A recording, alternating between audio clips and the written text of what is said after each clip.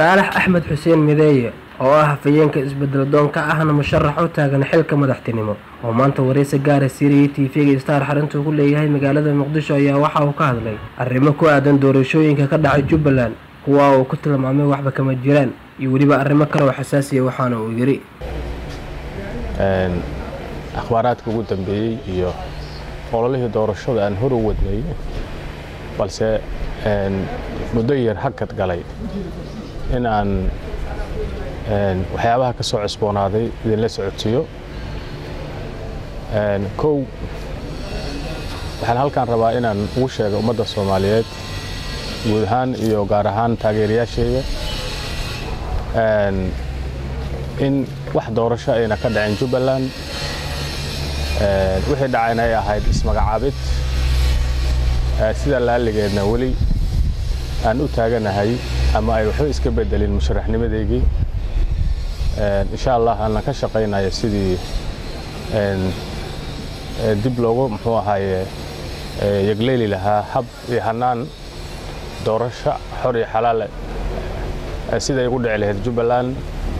Taasoo insha allah rajo fiican iyo dadiilo fiican leh meel fiican aa maraysa. Xaqiiqiyan jubbaland waxay ka mid tahay maamul goboleed maamul goboleedyada ka tirsan ama xubnaha ka ah dowladda federaalk soomaaliya. Hase ahaatee waxaad moodaa inay yara murugootay hab ama habraaci doorashadeeda iyadoo agaasinkii doorashadu ay hallowday horeyna dee ay u halaabi jirtay laakiin dulqaad iyo maaragtay iyo barasharo kale jira aawadeed dadku ay tanasulaad badan u samayn jireen laakiin dowrka maanta aan hore u sheegnay inayna shaqayn doonin taa iyada ah tiina maanta dadku ay wada ogaadeen.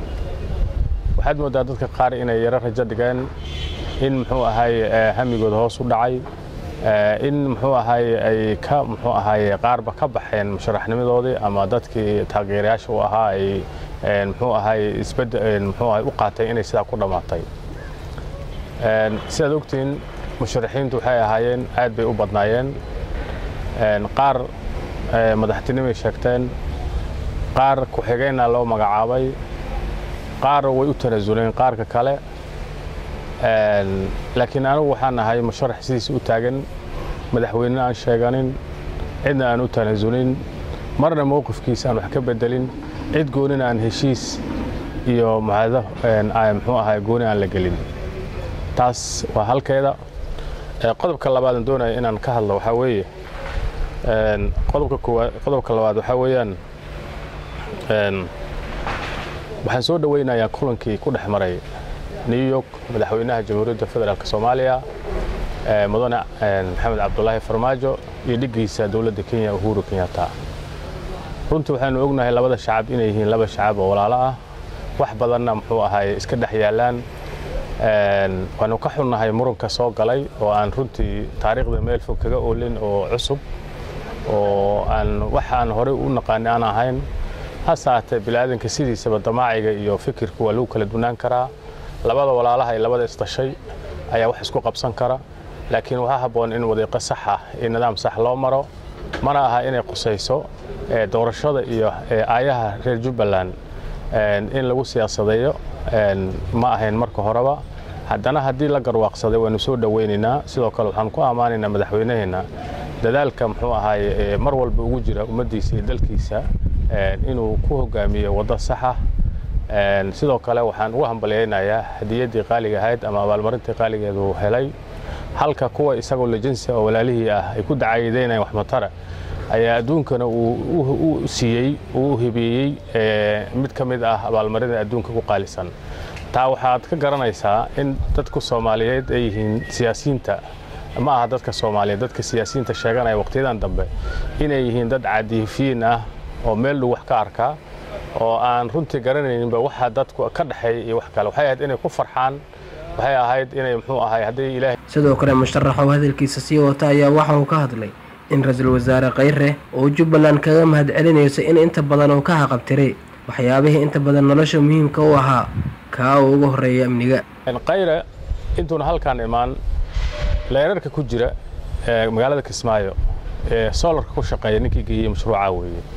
Ninkii ceelasha biyaha dhoobley labaatan iyo labada ceele ku jira dhowr iyo toban ka mid ah biyaha geliyey weeye. Ninka waxaa weeye inta muxuu ahay barakacayaal ah ama muxuu ahay qaxoote ee kismaayo ku nool lacagtii siinayey ee mashaariicda u sameeyey ee guryaha u dhisan weeye. Sheekh shariif xasan sheekh maxay u tareen? Sheekh shariif labada kun iyo lixdii xilligii maxaakiimta uu hogaaminayey intuu qori qaato kitaab qaato yiri waan jahaadayaa jahaadkii wuxuu la jubbaland kumanaan wiil baa ku dhimatay waa la ogyahay kumanaal xoolaa ku baabaay khasaare qaxi dhibaataa ka dhalatay ugu dambeyn xataa waxaa naga qaxay ugaartii ku hartay bandamadow iyo duurka ee soomaaliya ku hartay xaduudkay gudubtay dhibaatadii meesha ka dhacday weerarkii diyaaradihii iyo muxuu ahay xasuuqii meesha ka dhacay ciidamada gale xabadii markii dambena habeen madow intuu diyaarad raacay maraykan uu ka tegey sheekh shariif maanta markuu tago oo rag isdiidan oo deegaanka wada dhashay oo meesha isku diidan uu qolo ka mid ah uu taageero. Soo micnaheeda maaha in mar labaad uu dagaalkii iyo dhibaatadii uu dhiiggii u daadiyo. Waanu ka xunnahay waanu ku ixtiraamaynaa laakiin fikirka u wada sheekh shariif waxaa weeyaan ma aha taariikh madoobuna gobolkaa ka leeyahay. Waxaanu weydiisanaynaa in uu arrimaha nooca ka tanasulo waan ku ixtiraamaynaa inuu yahay madaxweynahii soomaaliya uu yahay laakiin waa in taariikhda dib loo aqriyaa. Cabdilaahi cabdirasaaq aadan casaani star t v muqdisho